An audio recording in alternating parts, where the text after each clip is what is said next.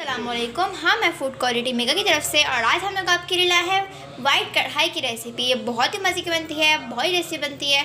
तो चलिए इसको बनाना स्टार्ट करते हैं। तो इसके लिए जो है, हमने तकरीबन आधा कर चुकी ले ली थी। इससे जो है, हमने क्यूस में काट लिया। तो उसमें जो है, हमने आधा कर चुकी ले ली थी। चिकन जो हमने ली थी, वो हमने ली थी बोनलेस इसको जो है, हमने क्यूस में काट लिया था। तो अब जो है, हम लोग इसे मैरिनेट करेंगे। तो अब जो है, हम लोग इसमें दही ऐड करेंगे। दही की मिदार जो हमने ली थी, वो हमने आधा किलो तो देख सकते हैं हमने इसमें दही डाल दिया है और हम लोग जो ऐसे मैरिनेट करके हाफ़ एन आवर रख देंगे। तो देख सकते हैं, ये जो है, हमने इसमें दही डाल दिया है, दही माने योगर्ट और ये हमने लहसुन, अदरक का पेस्ट गार्लिक जिंजर पेस्ट हमें डाल दिया है टू टेबल स्पून कढ़ाई मसाला हम लोग डालेंगे फोर टेबल स्पून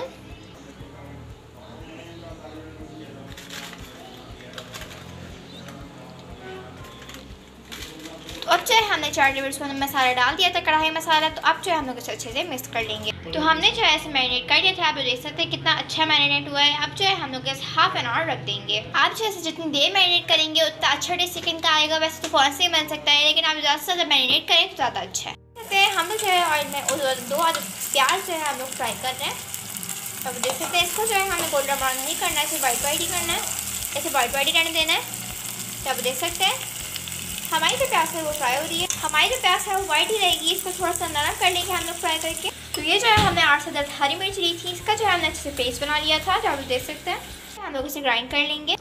जब देख सकते हैं, ये हमारे प्याज का पेस्ट बन चुका है। और एक तरह इस तरफ़ जो है, हमने चिली पेस्ट तैयार कर लिया था। और एक तरफ़ जो है, हमारी वही चिकन जो हमने मैरिनेट करके रखी थी। तो ये जो है, हम लोग सबसे पहले जो है अदरक ऐड कर लेंगे। अदरक का जो है, हमने चाहे स्टॉक चिंजर ली थी हमने। आप देख सकते हैं, हमने इसको इतना बारीक काटे इतना बारीक काट लिया था। हम लोग चाहते हैं बिल्कुल हमसे केड़ी रेसिपी शेयर कर रहे हैं तो आप देख सकते हैं हमने इतना बारीक काट लिया था तो हमने चॉप जिंजर ली थी। अब जो हम लोग इसमें चिकन शामिल करेंगे। तो हम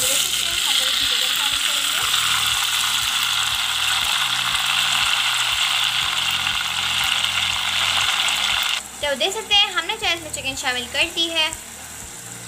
आप देख सकते हैं इस पर इसमें से इतनी प्यारी खुशबू आ रही है कि अगर पता नहीं, हम लोग इसे नहीं खा सकते। मैं चाह रहा मैं इसे अभी से खा लूँ तो आप देख सकते हैं? तो ये जो है झट पर तैयार हो जाती है। आप देख सकते हैं, इसमें कितना प्यारा खूबसूरत रंग आया हुआ है ये। और इसमें से कितना प्यारा रोमा आ रहा है कि जो है, मैं चाह रहा अभी से खा लूँ। तो आप देख सकते हैं झटपट तैयार हो जाती है। हम लोग जो बिल्कुल स्वीट रेसिपी हम लोग आपके साथ शेयर कर रहे हैं। हमारी थी इस वाइट कढ़ाई की फरमाइश बहुत थी। आप दोनों शो में कमेंट्स देखे होंगे, हमारी वाइट कढ़ाई की हमारी फरमाइश जो थी, वो बहुत थी। सो दैट्स जो है, हमने आपके साथ वाइट कढ़ाई की रेसिपी शेयर करी है। तो पाँच मिनट के जो है, हम लोग ढक रख देंगे, ताकि जो है चिकन अच्छे से जो है, गल जाए। देख सकते हैं, ऐसे कितना कितना खूबसूरत लग रहा है, कितने प्यारी सी कंसिस्टेंसी है, कितने प्यारे से जो है, इसमें से अरोमा आ रहा है, कितना क्रीमी ये वाइट कढ़ाई तैयार हुई है हमारी। तो आप वो देख सकते हैं कितनी क्रीमी टोट कर हमारी तैयार हुई है। तो अब जो है हम लोग ऐसे तीस लेमन हमने करके रखे थे। हम, हमने जो है एक लेमन के हिसाब से वन टी टी एस हमें एक लेमन के हिसाब से जो है हमने डाला था लेमन को जो हमने स्क्वीज़ करके रखा था, वो हमें डाला। देख सकते हैं हमारी जो है वाइट कढ़ाई तैयार हो चुकी है, कितनी खूबसूरत है। तो अब जो हम लोग इसी गार्निशिंग करेंगे। तो अब देख सकते हैं हम लोग इसी गार्निशिंग कर रहे हैं। ये हमें डाल दिया है जिंजर हरी मिर्च। ये बहुत टेस्टी बनती है, बहुत ही मज़े की बनती है। आप इसे एक दफ़ा खाएँगे बार बार बनाएँगे तो आप वो देख सकते हैं। आप इसे तंदूरी नान और शीमा के साथ सर्व कर सकते हैं। लाइक करें शेयर करें सब्सक्राइब करें और कमेंट बताएँ कि आप लोग को हमारी रेसिपी कैसी लगी। और हम लोग आपके रेसिपी कैसे, कौन सी लाएँ। दुआ में याद रखिएगा। अल्लाह